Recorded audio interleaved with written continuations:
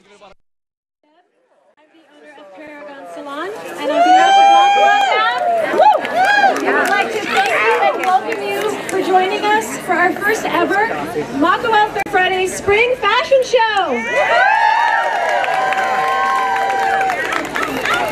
So the 26 looks you're about to see have come together in a collaborative effort between all of our fabulous Makawao boutiques. And we are so delighted to present you this evening with three collections.